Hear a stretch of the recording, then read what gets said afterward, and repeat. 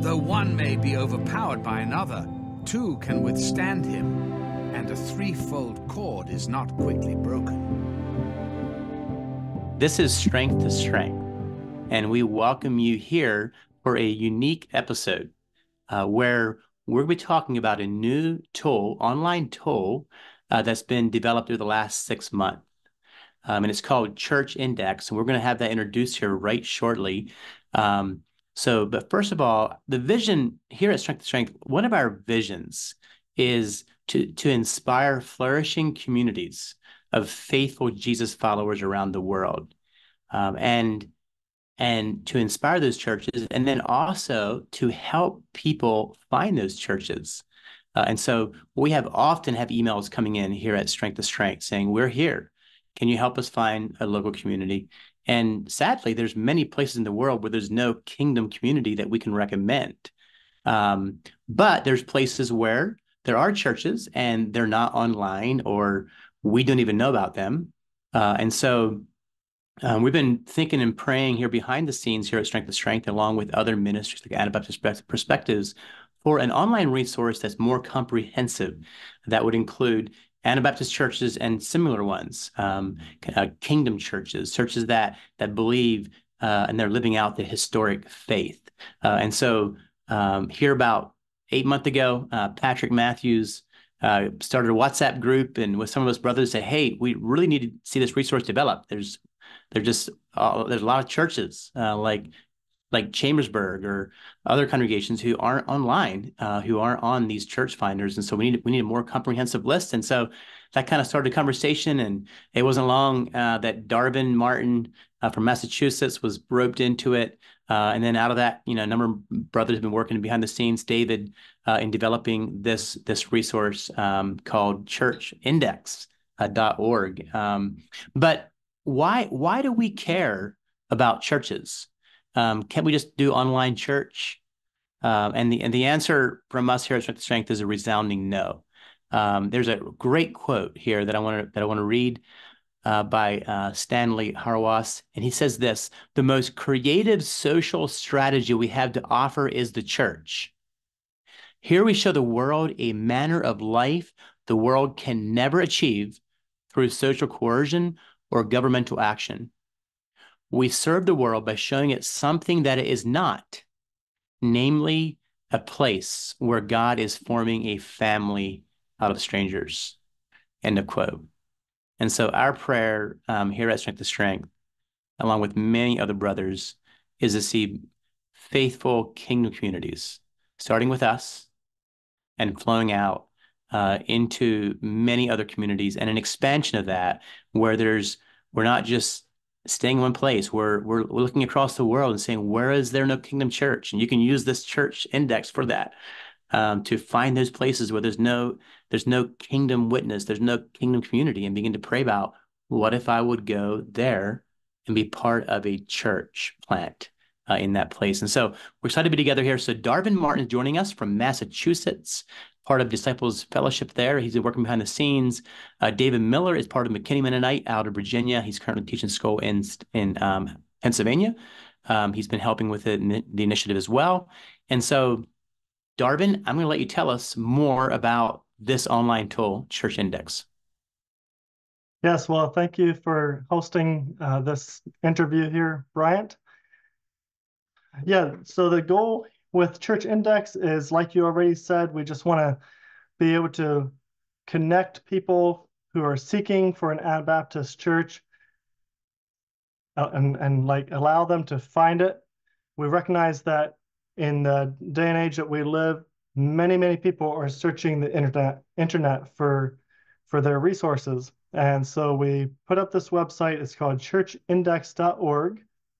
And we have a lot of churches listed there already. Most of those are in the in North America, but we are working on a worldwide list of uh, of churches uh, that can be used as a resource for seekers.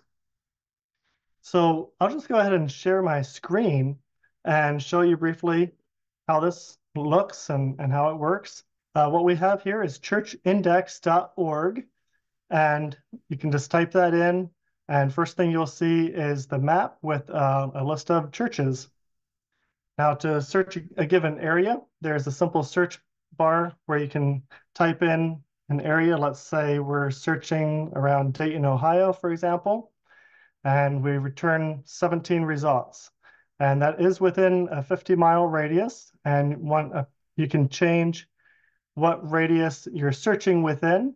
There are plenty of areas that still need a church, and you might not find one within a 50 mile radius at times.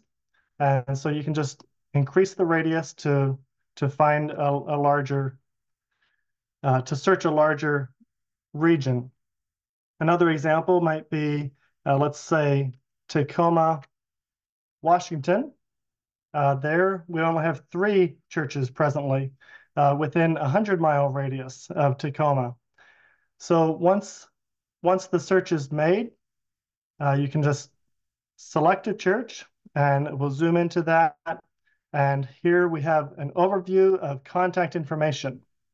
Now the contact information is a very primary part of this tool and that those things consist of the address, uh, so the, the, the location of the church, a phone number, and oftentimes a contact person.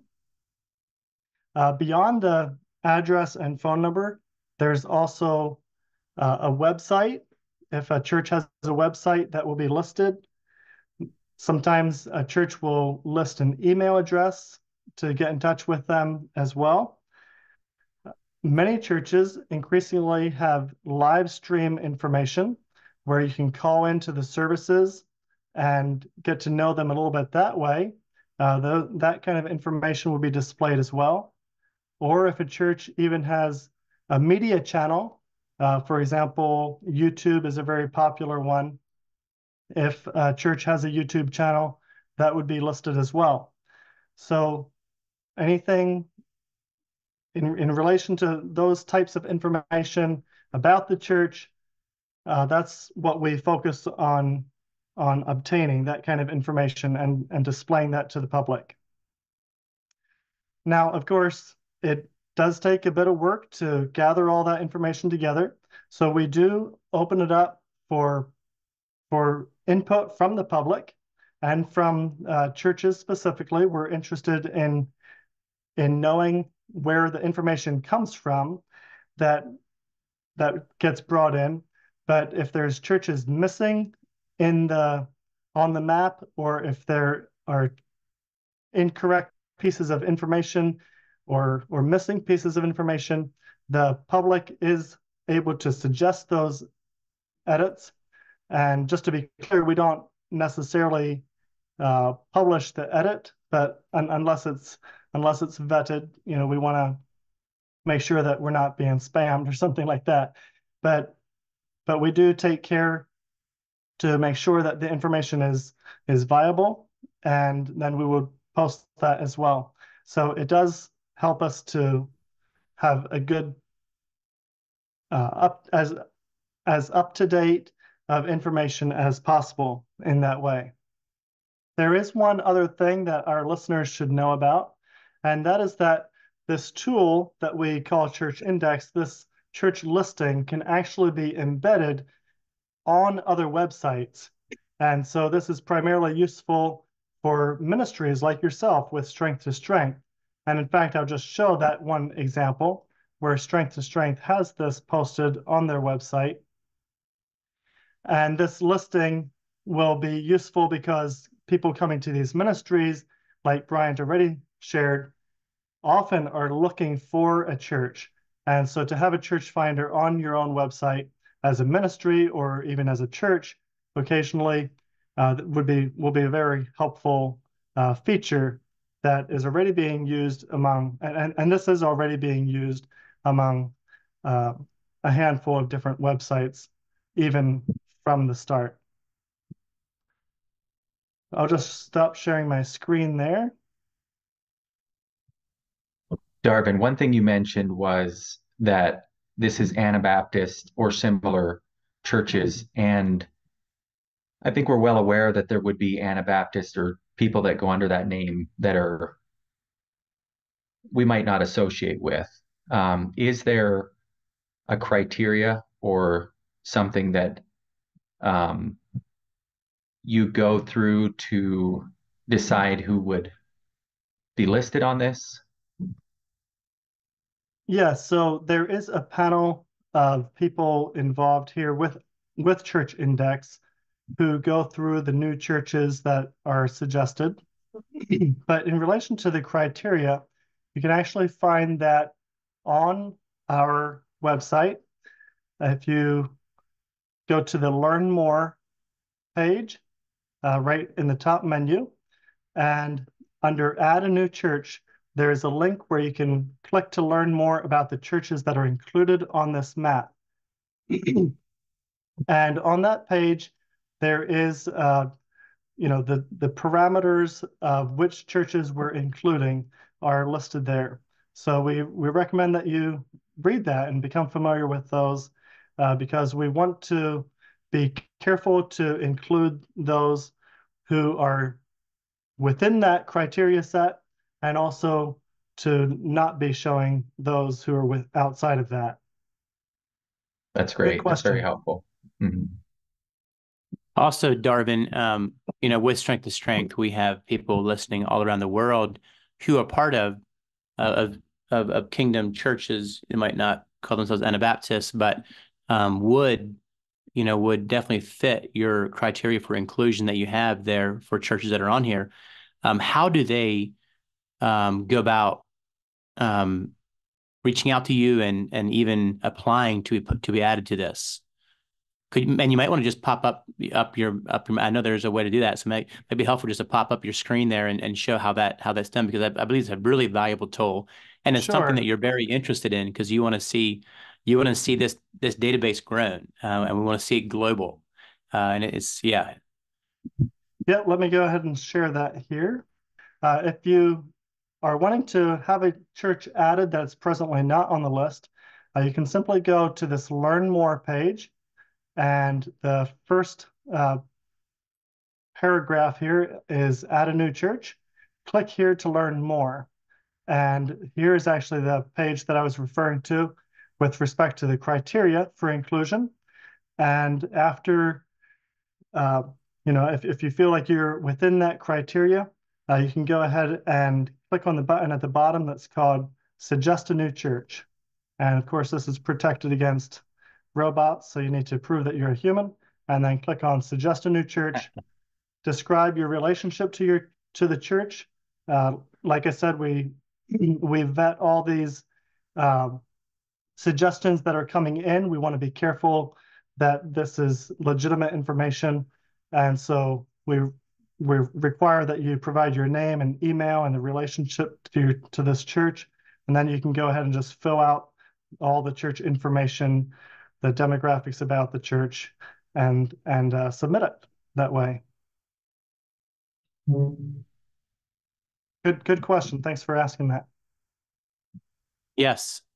Yeah, excellent. Okay. Um, is there any other aspects, Darvin, that you want to share here specific to the website? I know we're going to have David talk a little bit about um, some of the financial needs that are that have been incurred with this site, um, with this project. Uh, but yeah, is there any other parts to this site, or or Sam, do you have any more more more questions to to fire at them? No, I don't believe I do at this point. Yeah, well, I think that uh, covers the basics of it as far as I'm concerned. Uh, David could go ahead and uh, share how people can get in touch with us. Yeah, well, maybe before David actually shares that, um, one of the one of the as as I've watched you all work at this, I know you put, I don't know, uh, is it is it 100 hours, uh, man hours, uh, hundreds maybe? I'm, I'm not sure. There's been a ton of work that has went into developing this database and going. And David is currently going through the through um, the churches and making sure that you know everything's spelled correctly and information's right.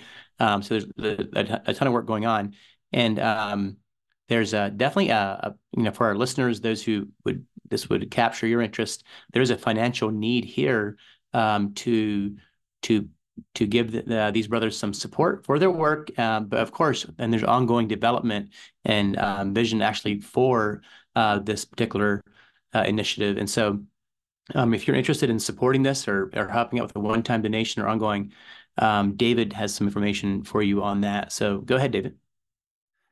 I think you, is your yeah. is your title treasurer treasurer for for this project? I think it's like secretary or something like that. Okay. Um. Yeah. So you can donate via credit card online at churchindex.org forward slash contribute, I believe. And you can also send a check to Church Index um, at um, 1017 Houserville Road, State College, Pennsylvania, 16801 is the address to send it to. And yeah, we would take care of it from there. Mm-hmm. Yep. Thank you, David. Uh, and I, I know that you've been, um, some of your work has included, um, is it is it pretty much just working through the church listings and make sure that information is correct, or exactly what what has been your your role with with the project outside of secretary? That's pretty much it. Just making sure the churches are the pin on the map is in the right place or whatever, making sure sure. church information is correct. Mm-hmm. Yeah. Okay. Um, well, brothers, thank you so much for for coming on here and talking about this. Um, as I mentioned earlier, um, you know, with with strength to strength, we've had many people reaching out to us looking for communities, and that's one of our our our our as part of our mission is to find help people uh, find local kingdom communities, um, and so uh, we were excited to see this church index um, come about and and get get rolling. So thank you for joining us on here. And again, uh, you can go to their website at churchindex.org, um, or you can go to Strength to Strength and um, go to the partner page, and there we have the the link where you can see look look up churches in your area. So thank you for joining us, uh, Darvin and David, and also thank you for uh, coming on as well, Sam. And have a have a great day. Blessings. Thank you for hosting us. Yep. You're welcome. As iron sharpens iron, so a man sharpens the countenance of his friend.